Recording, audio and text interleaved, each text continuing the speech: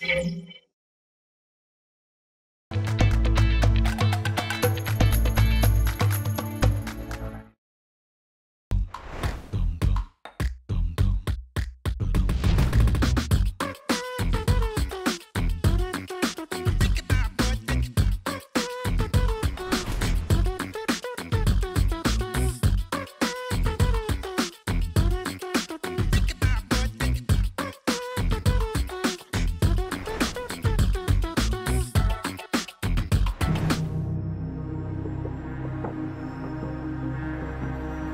مرحبا شباب وصبايا. هاي. كيفكن؟ مرة مبسوطين صرنا بالأسبوع ال11 آه، صرنا خمس أشخاص كثير قلال. ما حدا فينا متحمس اليوم ابدا. هذا أكثر أسبوع بنفوت عليه ونحن غير مستعدين ولا واحد فينا بده ياخذ تحدي جديد. بدي أحكي كم شغلة قبل ما بلش اعطيكم تحديات. أول شيء سمر. مبروك الصدارة. بس ما بقى بدي انهيارات. هداك الأسبوع عملتي لي انهيار عصبي وسود وجهك وعيشتي وعيشتينا أسبوع انهيارات. واخر شيء طلعتي بالصدارة؟ فهيدي ال attitude ما بقى بدي إياها. سليم معها حق وقت اللي قالت لي إنه انهارت هذيك الجمعة بتحدي اللغة العربية. بس إنه رجعت هيك فكرت ومشي حالي. أنت بتعملي research كثير منيح وبتطلعي مواضيع كثير منيحة فما بقى تخافي وما بقى تمشينا بهال stress اللي عايشتنا إياه الأسبوع الماضي إذا بتريدي. سمر كل أسبوع آه، تدخل آه، نوبة ذعر. ودائما فيديوهاتها تكون حلوة وأنا قلت لها الفيديو مالتها كان من أحلى الفيديوهات. ف relax سمر يعني ما في داعي تكوني مستاء لهالدرجه نور الدين. هلا. يعني ما بعرف كيف زمطت أنت على شعرة بس أنا اللي بدي لومك عليه هي آه ال attitude كان عندك إياها الأسبوع الماضي. كنت عارف حالك رح تطلع بمنطقة الخطر. بالعكس أنا كنت جدا فرحان وكانت ببالي أفكار كثيرة على الموضوع يعني يجوز هي حست إنه أنا ما كنت معطي 100% والنتيجة إنه أنا صرت بال danger zone بس أنا ما كنت أستاهل أكون بال danger zone بس هاي آراء اللجنة. أصلا ما بعرف شو بيصير لكم كلكم. أول ما تطلعوا بالصدارة الأسبوع الثاني مدري شو بيصير لكم. ما فهمت يعني. قصدك attitude تبعي كان إنه حكون منطقة الخطر؟ إيه إيه ما اعطيت من قلبك وما اعطيت كل شيء لازم تعطيه. وما فيك تقلي لا على هذا الموضوع. بغض النظر عن شو قالوا لك لجنة الحكم ولا حبوا ولا ما حبوا عملت اللي عليك لا كيف فيك تعمل أحسن من هيك وأنت بتعرف هذا الشيء هذا الأسبوع ما بدي هذا الشيء إن شاء الله.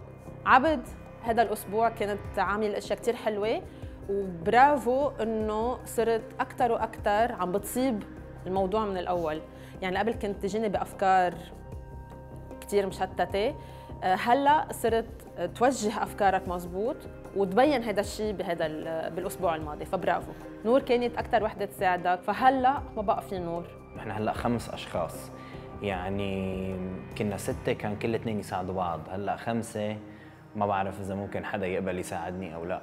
اللي راح يساعد عبد الرحمن أعتقد آني يعني بس آه، لازم أنسق وقتي إنه عندي فيديوين أصورهم ولازم أصور راشد بالفيديوين تبعته لأنه هو حيصورني. فبدك تنتبه كثير منيح وتنقي مزبوط مين رح يكون عم بيساعدك من هلا ورايح لأنه ال quality تبع ال videos تبعولك مش مفروض تنزل بولا طريقة.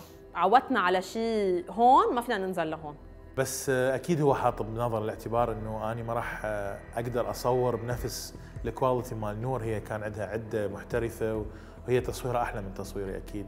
أكيد عتلان هم إنه ما يزبط معي التصوير لأنه خلص تعودت يعني على نور إبراهيمي وهي تعودت علي وصرنا نفهم على بعض على طريقة التصوير تبعتنا. فتقريبا رح بلش من الصفر. أستاذ راشد. راشد سمك راشد سمكة. راشد سمكه أنا بدي أقول لك شغلة. أنت ما بعرف أي متى وقفت تعطي من قلبك لهذا البرنامج. صرت تعمل حيلا شيء. خلص السمكه بدنا نحطها على جنب.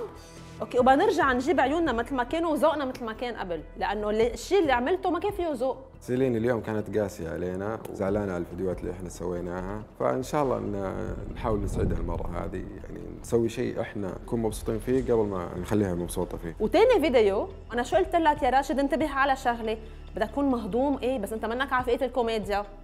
شو قالوا لك؟ ضحكتنا مهضوم. آه هو عن فئة الكوميديا ولا عن فئة السبور ما كان لازم تحط حالك بهذا الموقف. يعني عتبتني على بعض النقاط اللي أنا سويتها كانت صح بس ممكن لأنه كان فيديوين فإن شاء الله وعدها إنه المرة الجاية يكون شيء حلو. شو ست جنان؟ نحن هلا عيا موجات.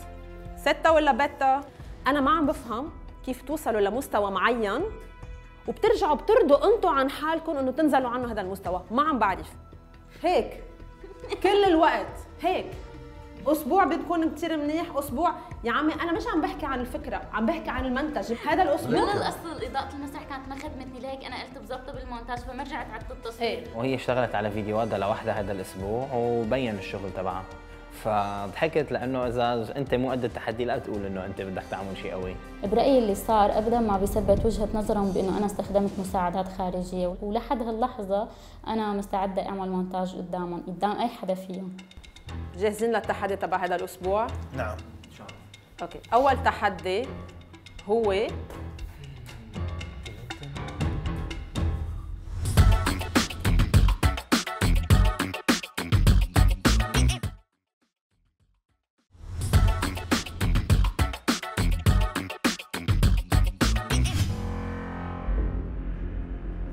جاهزين للتحدي تبع هذا الأسبوع؟ نعم.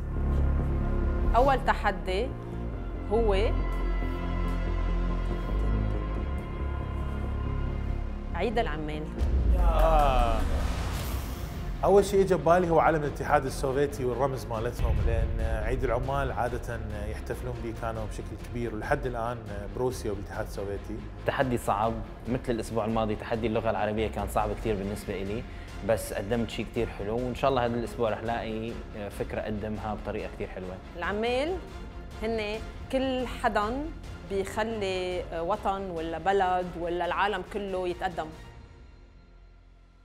فبدي إياكم بال videos تبعولكم تكرموا شوي ولا تسلطوا الضوء ولا تحكوا عن شيء خاصه بالعمل وعيد العمل والعمال. ممكن هذا التحدي أخده من منظار تاني هيك إنه يبين ضمن ال wellness. بحس ما في شيء بقى صعب لأنه الصعب بكثير كان اللغة العربية و... وتخطيته فلازم أتخطى عيد العمل كمان. جاهزين للتحدي الثاني؟ لا يلا هلا بلكت مش جاهزين. بلكت أحلى من عيد العمال. التحدي الثاني هو شيء أنتم عم تطالبوا فيه كل الوقت.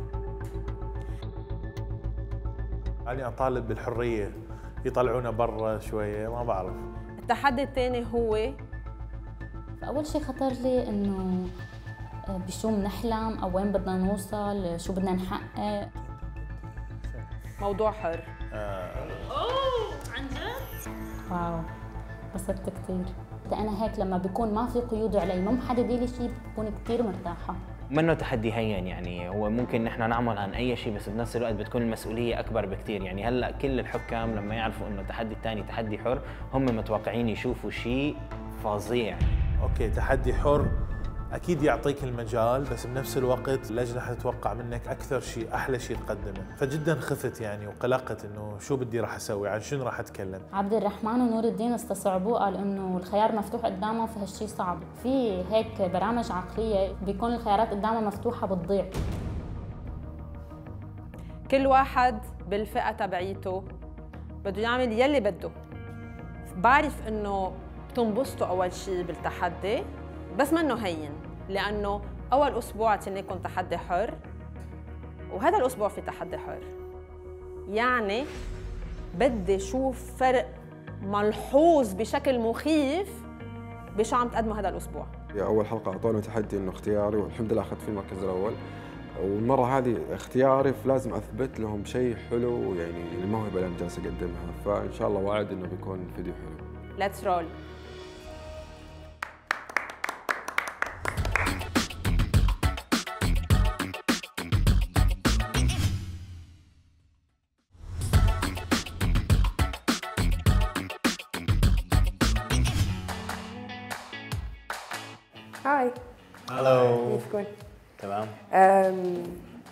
قليل وصارت الحصة هيك مكانكني أكثر فاليوم حنعمل recap حنرجع نمرق على القص- القصص اللي اشتغلناها من أول البرنامج لليوم ونعطي بعض feedback وأهم شيء وقت نكون عم نخلق content جديد أو عم نطلع بقصة جديدة أو أي شيء بده creativity نعرف نعطي feedback لأنه بس نعرف نعطي feedback للشخص اللي قبلنا وبنعرف نتلاقيه بنصير نعرف نعطيه لحالنا.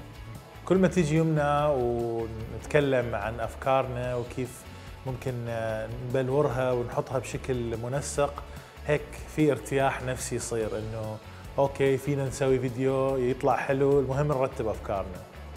هلأ صار معنا كل ال tools. يعني معكم شنطة فيها كل ال tools.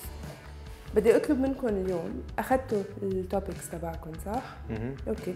بال topics تبعكم آه بدي إياكم تخلقوا plan plan لكيف آه بدكم تعملوا الفيديو تبعكم. فكروا بال beginning بال middle بال end فكروا بالشخصية اللي عم تتواصلوا معها. فكروا بكل شيء اخذناه من أول ال sessions لهلا معكم تقريبا 10 دقائق لتعملوا هيدا الشيء. من بعد هالعشر دقائق بدي إياكم تعملوا pitch بدي إياكم تقنعوا الشخص اللي مقابلكم إنه هيدي هي الطريقة الوحيدة اللي بقدر أستعملها كرمال أوصل هالفكرة. من بعد ما نعمل ال pitches بنحكي عن ال feedback من شخص للتاني.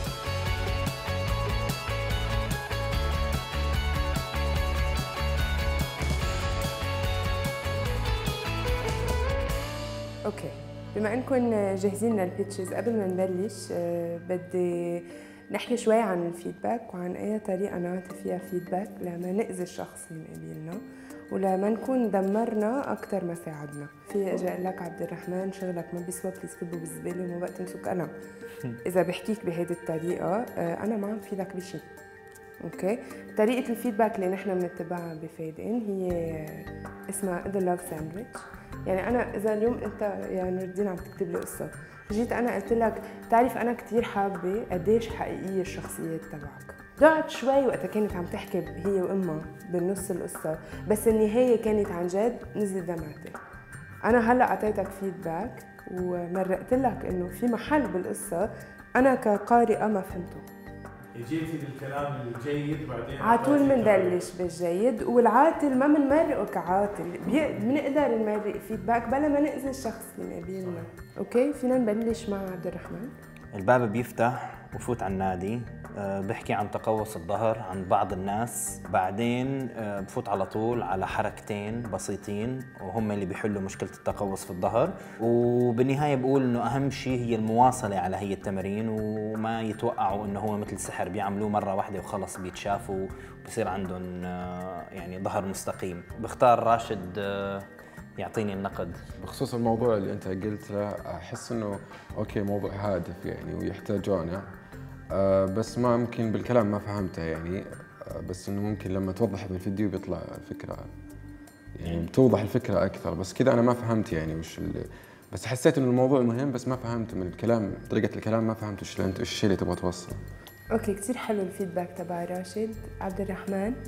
شو ال fix؟ ورا ال note. أنا عم بحكي عن هي الحركتين بعمل insert للفيديوهات اللي هي شو الحركتين اللي عم تنعمل وكيفية أداء هي الحركات وشو المناطق اللي بتركز عليها هي الحركات. ممكن كذا يكون أسهل وأقدر أعرف أكثر. بيوضح أكثر من للمتفرج كلامك مو مفهوم. أنا بعرف لما الواحد بيعطي فيدباك لازم يعطيه بطريقة سلسة مشان اللي قدامه يتقبله. النصيحة اللي أعطاني إياها راشد كان عم بيقولها بس هيك مشان يقولها يعني تعبايه الجو. يعني أكيد أنا رح ورجي التمرين اللي أنا بعمله. فنصيحته ما فادتني. بعتقد هو في عنده نصائح بس هو ما بيحب يقول لي إياها مشان ما أخذ اعلى منه. لا أنا أعطيت رأي لعبد الرحمن لأنه ما أحس انه حتى الكلام اللي يقوله ما منه فائده وبما إنه في يومنا وكذا ما حبيت إنه احرجه قدامها فقلت له الكلام هذا. خلوا بعين الاعتبار إنه كل ما اشتغلنا على نفس الشيء أكثر كل ما صرنا أحسن وكل ما صرنا نعرف عنه أكثر كل ما أعطينا فيدباك لغيرنا كل ما صار شغلنا يتطور كل ما صار الفيدباك مع حالنا صحي أكثر وصادق أكثر نحن هلا بما إنه صرنا قلال والضغط علينا كثير كبر وفوق كتافنا عن جد في هم وفي هيك عتل كبير فصفيونا أكيد فاتنا خلانا هيك نروق ندخل شوي للأعماق نحس بالسكون. ما بقى بضجيج هالأفكار هاي.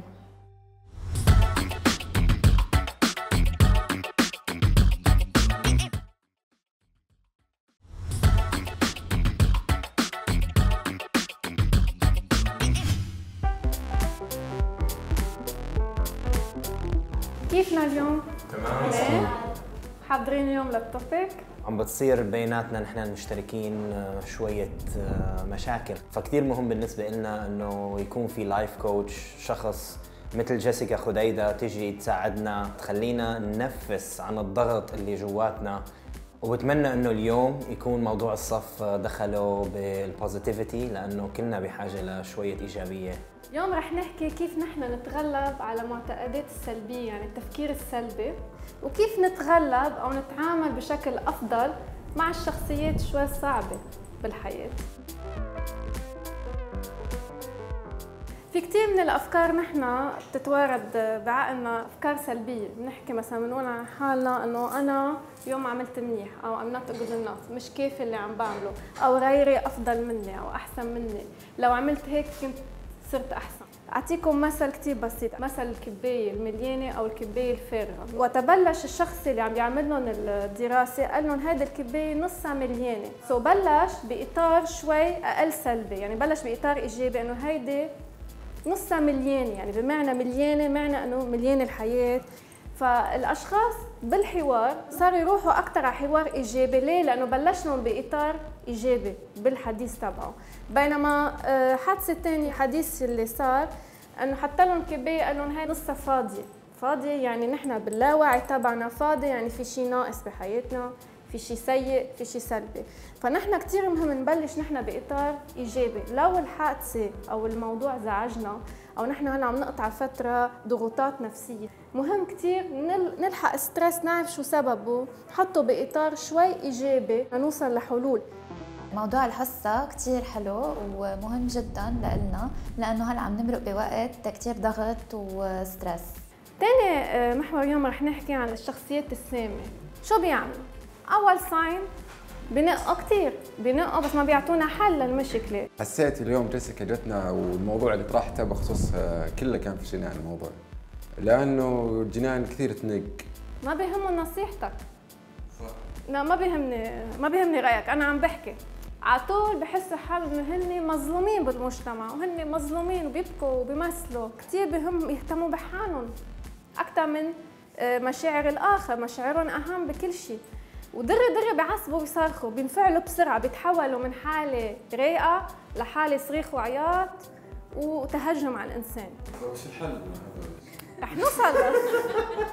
انتبهت من ردات فعلهم اللي كثير قليلة الذوق اللي هن عم بيضحكوا ويخبوا الضحكة إنه شملوا هاي الصفة بكل نمط الشخصية. أنا بنق بس أنا بزيد عليهم اوقات وما بنق بشكل سلبي حدا حدا لي أنا السلبيه لأني أنا قمة الطاقة الإيجابية.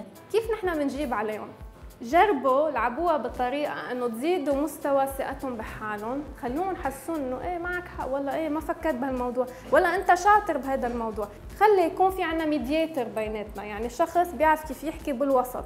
هون التسويق المضاد ضرب بيرد عليه لهيداك لا أنت ما معك حق هو منه هيك ما بتصرف هيك. برأيي مشكلة جنان إنه هي ما بتشوف الأخطاء اللي هي بتعملها أو إذا بتشوف الأخطاء اللي هي بتعملها ما بتتقبل إنه هي عملت خطأ. هذا أكثر شيء آه، بيأثر عليها وبيأثر على علاقتها معنا كلنا مو بس مع المشتركين مع كل العالم اللي حواليها بتتعامل معهم يوميا. هن الشيء اللي عم يضحكوا عليه أنا دارسته وأنا متعمقه فيه هذا الشيء طالع من راسي قد ما دارسته. ان شاء الله تكونوا استفدتوا؟ أهم شيء ما تخلوا هالشيء يأثر بحياتكم يوميا. اضحكوا للحياة وتحكوا بوجه الأشخاص. الصاعدين المرض شكرا.